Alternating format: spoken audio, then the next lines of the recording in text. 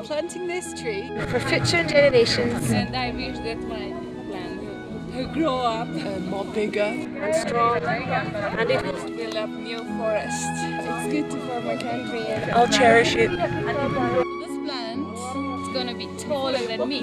We're so proud that we're doing something good for our nature, for our environment. Because how it looks is how we look. and for the good of the world. Um, I could come back and visit. special tree.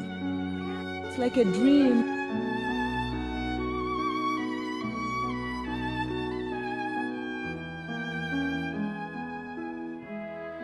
Nobody will never know who planted this tree, but I did something great today. And create a life here in Ethiopia.